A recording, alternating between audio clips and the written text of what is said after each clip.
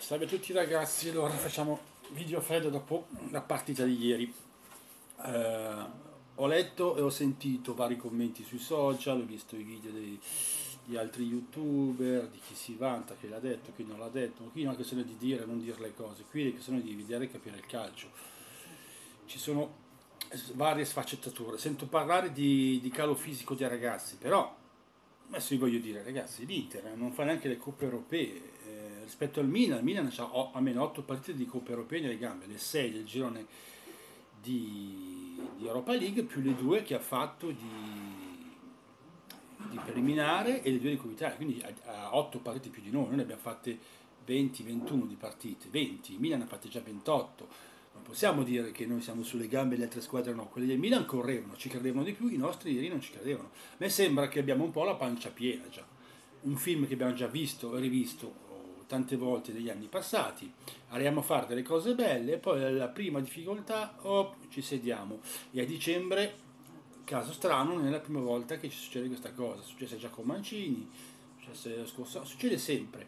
Poi voglio dire, calo fisico, ma che calo fisico dobbiamo avere? Quello che è mancato ieri, la, come ha detto pure il mio amico Luigi, abbiamo visto entrare Cutrone che aveva la, la bava agli occhi, aveva voglia di vincere, io la voglia di vincere la voglia di sacrificarsi di tutti non la vedo più come la vedevo, che ne so, con la Sandoria o altre partite. Che poi diciamocelo chiaramente, l'Inter non è che fa un grande calcio, a parte qualche partita che abbiamo, fatto, abbiamo giocato anche bene, però abbiamo giocato bene perché la partita si era messa su dei buoni binari, anche quando abbiamo vinto Verona 3-1, non abbiamo fatto un partitone, abbiamo vinto Benevento, non abbiamo fatto un partitone, insomma non è che facciamo dei gran partitoni, noi questi siamo, però se adesso devo leggermi che a dicembre siamo in calo fisico quando tu non fai le coppe, eh, allora se vi dite così, allora c'è un problema di preparazione fisica, perché si sapeva che il mese di dicembre era il mese più duro che c'era, e quest'anno non c'era la sosta, ci sarà dopo il 6 gennaio, due settimane, e noi arriviamo qui e siamo sulle gambe. Tutti volevate i titolari, ieri li ha messi i titolari, e chi, chi, chi, sta, chi sta deludendo le attese dei titolari, non le riserve. Ieri hanno giocato i titolari, non hanno giocato le riserve poi mister Spalletti, e non è la prima volta che glielo dico, non c'ho niente contro lui, anzi, non è questa una critica nei suoi confronti perché sta facendo i miracoli, quindi va benissimo, non è una critica, però se uno sbaglia, meno secondo me, io lo dico perché è una critica costruttiva che porto, dopo voi ditemi cosa pensate in commento. Secondo me certi cambi da lui fatti non sono stati all'altezza già con due o tre cambi, e mi torno a ripetere, la cosa più, più, che mi ha lasciato più basito che fai il terzo cambio lo fai al centesimo minuto del tempo supplementare, quindi a 5 minuti dalla fine del primo tempo supplementare, forse forse ha fatto un po' prima questo cambio, no mister? Ehm, con un Milan stanco, perché era, erano stanchi anche loro, però avevano più... Hanno fatto, non è che sia stato un grande Milan, è il solito Milan che gioca, però almeno ci hanno creduto, ci hanno messo quella rabbia che noi non ci abbiamo messo e hanno vinto, ripeto, meritatamente, meritatamente, cioè leviamo ogni, ogni fuga, l'ego, però il gol in fuorigioco, se, era fu- se è fuorigioco non era facile, è difficile da prendere, insomma la VAR può dare, può togliere, questa volta è andata così, se era fuorigioco a me non mi interessa, il Milan sul, sul campo ha meritato di vincere, noi abbiamo meritato di perdere, giustamente, anche perché siamo stati traditi dai nostri cosiddetti super giocatori eh, Perisic già 4-5 partite che fa male, Candreva anche lui sta tirando la carretta è un po', un po sgonfio e Icardi eh, e due o tre partite a questa parte che fa meno, eh, aiuta meno la squadra lo si vede meno pressare, fa meno lavoro che faceva prima. E quindi se quei tre là, come ho sempre detto, non sono al top, dopo noi si paga, ma a parte loro, cioè ragazzi dai, adesso sento parlare di Gio Mario, sento parlare di Brozovic eh, che non possono giocare, occhi, e Gagliardini può giocare secondo voi, può essere titolare all'Inter, Gagliardini non può essere titolare dell'Inter ragazzi, Gagliardini non può giocare nell'Inter, può essere un'alternativa, una riserva, se noi giochiamo con Gagliardini, Vessino, eh, andiamo in difficoltà, ieri l'abbiamo visto, e poi Gio Mario, cioè tu lo fai giocare Gio già è in difficoltà sto ragazzo, perché io sulle sue doti ci credo ancora, però secondo me è da vendere, perché comunque adesso lui non, non c'è, non c'è con la testa, nell'Inter non sta bene, bisogna cambiare aria sicuramente, vediamo cosa possiamo ricavarne in cambio. Però se tu lo metti trequartista non va bene. Io ritorno a dire, le poche partite fatte lo scorso anno da Giomario, quelle che le ha fatte bene, le ha giocate da trequartista, le ha giocate da, da, da, vertice basso, in mediana. Inter Juventus ha giocato con Condobbiali, ha fatto benissimo con Condobbiali, e c'era Banega trequartista, eh, magari adesso col senno, con, con il senno di poi direi abbiamo dato via Banega troppo facilmente, forse magari con Spalletti sarebbe diventato un altro giocatore, eh, questa era una cosa da pensarci, però questo è questo è quanto. Quindi sulla parte c'è poco da dire. Io penso che sia arrivato il momento o di cambiare modulo, mister, o comunque attingere anche le riserve, anche se non sono buone, e farle giocare. Ieri il cambio che andava fatto, secondo il mio parere modesto, eh, non al centesimo minuto certamente, ma prima, verso l'ottantesimo, era di me di inserire Caramo. Perché Caramo? Tutti mi dite, ma perché? Caramo era titolare al Can e giocava attaccante centrale, punta centrale o seconda punta, quello è il suo ruolo. Non è trequartista, mezzala come ha messo Spalletti metterlo perché detto Pesic non, non, non, non, ha presa una. Continuiamo a far giocare in più li spremiamo 120 minuti con Lazio sono cazzi perché abbiamo pure spremuti i giocatori metti, metti Caramo perché ha velocità, è l'unico che ha velocità, è l'unico che è capace di, di fare un dribbling, poi dopo se segnano, segnano, so, però poteva mettere veramente in difficoltà il Milan perché erano stanchi anche loro, c'avevano i due, i due centrali di centrocampo che erano ammoniti, eh, con un Milan stanco eh, sulla parte, sulla parte di Calabria potevamo metterli in difficoltà seria o anche sulla parte di Rodriguez perché con la sua velocità non lo vedevano quindi bastava solo lanciarlo in profondità. Quello era il cambio che andava fatto, io non c'è niente contro Eder. Però ripeto, quando abbiamo visto i rinnovi di Eder, Persic, Candreva e compagnia bella, qui la, la squadra si è afflosciata. Sarà un caso, però sembra un film già visto. Eh, ripeto, se tutti dicono che la squadra è stanca eh, il il 28 di dicembre vuol dire che c'è un problema. Sapevamo che il mese di dicembre andava a cavallo tra campionato e Coppa Italia, si giocavano due partite alla volta. Se non sei capace di giocare due partite alla volta, eh. poi visto che mister Spalletti fa sempre giocare gli stessi, perché hai fatto giocare tutti i titolari ieri che volevi andare in semifinale, ok? E ora c'è la Lassi, fatto 120 minuti e abbiamo visto che adesso, oltre a dire che i problemi sono, sono i panchinari, quelli che stanno giocando, i cosiddetti top, stanno facendo caccare. Persic, perché deve giocare Persic? Fare un po' di, un po di panchina, metterlo un po' in panchina, gli schierirà le idee a lui e agli altri. È entrato Brozovic, non ha fatto niente, però, però tra, tra Brozovic e Gagliardini, potete dire cazzo che volete, se c'è uno che, che può fare qualcosa di diverso, che può fare gol, può fare una giocata, è Brozovic. Volenti e non volenti, lo si fa giocare con continuità, vediamo se, fa, se ci, ci, ci, ci, fa qualche cosa.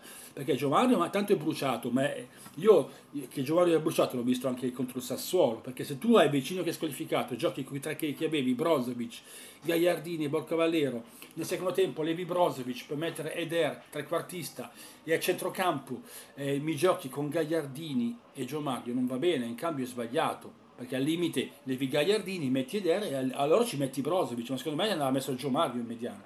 Gio Mario all'Inter può giocare in mediana.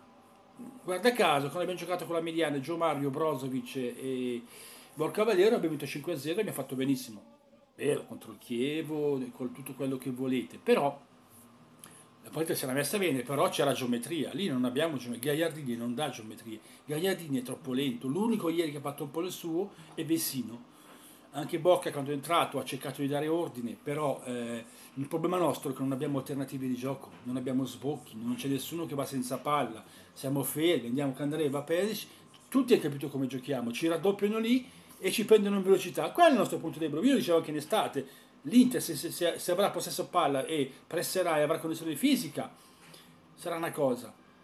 Se invece poi ci facciamo, ci facciamo raddoppiare ci facciamo prendere noi contropiedi insomma. poi tra l'altro io ieri sono rimasto deluso da una cosa. Io pensavo che contro il Milan che il Milan è comunque una squadra che ti lascia giocare quindi noi potevamo appoggiarci sul Milan e ripartire. Pensavo che facevamo bene. Ed è, è, da lì che si denota anche che i nostri cosiddetti titolari un hanno un po' la pancia piena secondo me. Non riescono a fare la differenza non riescono a alzare l'asticella. Sei arrivato qua eh, devi continuare nel, nell'onda dell'euforia generale, devi, devi, continuare, devi cercare di avere una comunità, invece no, si afflosciano e mostrano tutti i nostri limiti che conosciamo, quindi un film già visto e rivisto. Ieri mi hanno chiesto se io, se io temo un tracollo, ragazzi, eh, prima dicevo che non poteva essere solo culo se facevano quei risultati lì, ed era vero. Adesso se tu fai in 5 partite e ne pareggi una, stranamente con la Juventus a Torino, anche se lì insomma abbiamo solo difeso, e non batti il Pordenone. Eh, insomma, diciamocelo chiaro, abbiamo fatto un gol nelle ultime 5 partite, mi sembra, no? 0-0 con la Juve, 0-0 col Pordenone, abbiamo perso 3-1 con l'Udinese, abbiamo perso 1-0 col Milan e abbiamo perso 1-0 col Sassuolo. Fate voi i vostri bravi calcoli, abbiamo preso 5 gol, ne abbiamo fatti 1 in 5 partite. Skriniar non è più quel giocatore che conoscevamo prima, che tutti dicevamo che era un maestro, ho sempre attenzione ragazzi, Skriniar è bravo, ma non, non, non esaltiamoli troppo, qualche decisione, qualche decisione ce l'ha. Ieri eh, il migliore della difesa è stato Ranocchia, io ho anche letto che su, su, una pagina che non è assolutamente in attacco di, di, di, una, di una, ragazza che comunque è conosciuta sul, su Facebook, che scrive, fa pagelle, diceva che la colpa del gol è di Ranocchia che, che ha assistito a, alla, impotente al gol, ma Ranocchia era alto, chi non era alto era Scrigna dal limite, se facciamo il fuorigioco, chi non ha fatto il passo davanti era Scrigna se proprio vogliamo cercare il pelo nell'uovo. Non diamo sempre la colpa a Ranocchia solo perché è Ranocchia. Ranocchia le due partite che ha fatto con l'Inter fino adesso le ha fatte bene, quindi non, non, lasciamolo tranquillo, che ha fatto bene, vediamo cosa di, di fare ancora due o tre partite, lasciamolo tranquillo.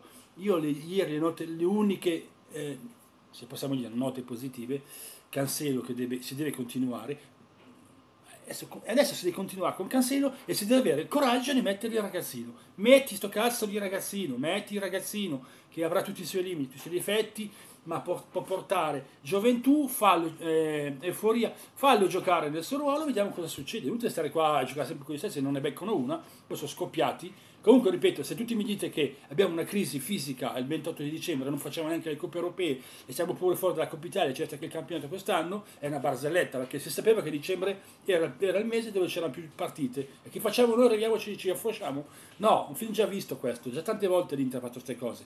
Quindi bisogna porre rimedio, speriamo che Spalletti riesca a trovare alternative, come lui stesso dice che le alternative deve trovarle in panchina, allora metti dentro sto ragazzino che è l'unico, è l'unico giocatore che hai al momento, dico, te, teoricamente al momento è l'unico che è capace di saltare l'uomo, di creare sultana numerica perché è veloce, è veloce, va, poi può sbagliare il gol, può sbagliare il gol. Lo scorso anno titolare al Can ha fatto, ha fatto 6 gol, ha fatto 7-8 assist, è nazionale under 21, insomma non è deficiente non è, non è, non è immaturo. Bisogna avere le palle di farlo giocare e, farlo, e basta. Punto. Lo si mette e lo si fa giocare 3-4 partite. Non va bene e si toglie. Ma devi dare, devi, devi dare una, una, una, concorrenza, devi, devi, dare un po' di peperoncino nel culo a quelli che si credono titolari inamovibili, perché pure questo è quanto. Perché te Spalletti hai detto che hai insistito con, con, con, questi giocatori per dar loro convinzioni. Tu hai dato autoconvinzione a questi, sì, che sono convinti di avere il posto da titolare adesso e gli altri le... non sei riuscito forse a ottenere quello che volevi. Poi che D'Albert non è più quello che ho visto a Nizza e ne sono tantamente dispiaciuto perché l'ho visto giocare, ma l'ho visto giocare dal vivo ed è una bestia, tutti lo volevano, il City ha cercato l'Arsenal, il Paris Saint-Germain e ha scelto l'Inter perché è arrivata prima. L'Inter la combina. E poi arriva da noi e purtroppo non funziona. Gabigol abbiamo visto che se ne torna in Basile con la coda tra le gambe, bocciato anche dal Benfica. Gio Mario penso che andrà via, Brozovic eh, però in questo momento, in questo momento io se devo scegliere il campo dell'Inter per quello che c'è in casa, io farei Vesino, poi eh, Valero e Brozovic perché non ho altre alternative. L'unico che può fare qualche gol all'Inter è Brozovic, infatti ha fatto tre gol, quindi o lui o niente. Poi adesso si parla di Delofleu, che sembrerebbe che il Barcellona ci venga incontro, abbia dato ampia disponibilità a darci giocatori con un prestito biennale tarroccato, stile Paris Saint Germain, che poi diventa obbligo, quindi se da prendere, dalle notizie che ho io, da, da, dai miei contatti che ho qui in Francia, si dice che potrebbe arrivare anche prima del, del 6 gennaio. Vediamo se, se corrisponde al vero. Io non posso metterci la mano sul fuoco, non vi dico niente, però così mi è stato detto. In genere il mio contatto ci becca quasi, quasi sempre. Vediamo, speriamo che ci becchi anche stavolta. Poi che, che serva o non serva non lo so, però è, è un giocatore rapido che salta l'uomo e che è capace di creare segurità numerica adesso senza, senza con i giocatori che abbiamo in casa io sicuramente farei giocare il ragazzino. E magari cambio pure il ruolo cambio pure il modo, eh, modo tattico. Metto il centrocampo a 3 Borca Valero eh, Vessino eh, Brozovic metto un centrocampo a 3 metto Candreva a destra e metto Caramo a sinistra o come volete voi li inversate e cardi davanti. 4-3-3 io farei questo. Poi non lo so, ditemi voi cosa pensate. Quindi niente ragazzi, c'è poco da dire, noi non abbiamo alternative di gioco, andiamo sempre sulle fasce, c'è cross e basta. Tutti l'hanno capito, ci raddoppiano, ci pressano alti e ripartono. Perché? E perché noi soffriamo tanto? Perché abbiamo un passo troppo lento, siamo troppo, siamo troppo lenti in mezzo al campo e quindi facciamo fatica, facciamo fatica, facciamo fatica a contrastare, facciamo fatica a fare tutto. O tutti sono al top e tutti corrono, tutti si sbattono come hanno fatto all'inizio, o questi saranno i risultati, cioè una, un, possiamo essere una buonissima squadra come possiamo essere una squadra facile da battere.